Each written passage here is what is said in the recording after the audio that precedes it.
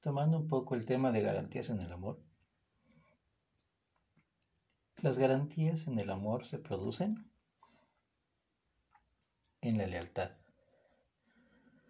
en la buena comunicación, en la relación de ida y vuelta, en el respeto, en el apoyo mutuo, en el trabajo bajo un proyecto en común. En una relación no hay inocentes. Solo existen diferentes grados de responsabilidad. No tienes que creer en ti. Tienes que dejar de creer que no puedes. La conformidad es parte fundamental del amor, aunque se piense lo contrario. ¿Por qué? Porque simple y sencillamente tú, tú estás aceptando a esa persona tal cual es, sin modificarle nada.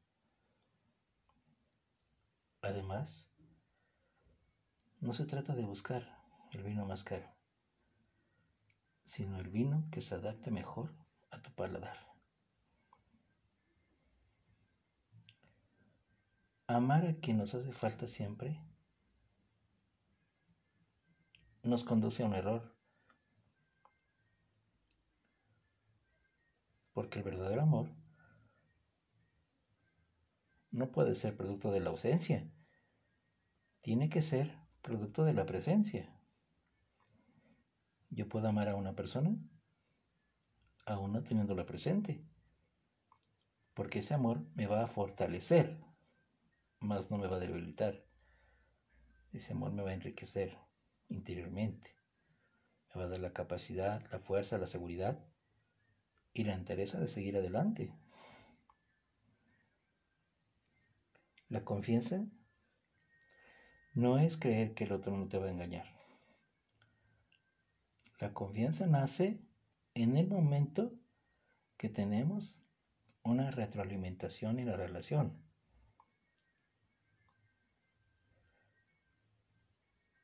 Cuando no engañamos, cuando somos leales a lo que hacemos y a lo que decimos. Y existe un equilibrio. El placer y el romance tienen que mantener un equilibrio entre la seguridad y confianza.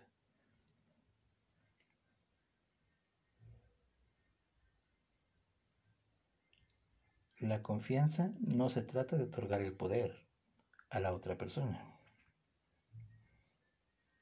La confianza es prioridad. Estabilidad mental. Seguridad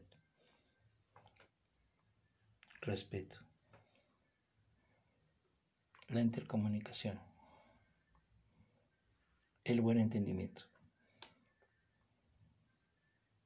Se trata de crecer, porque si yo voy a estar en una relación donde no me va a aportar nada a mi persona, no le veo ningún sentido continuar en esa relación. ¿No creen?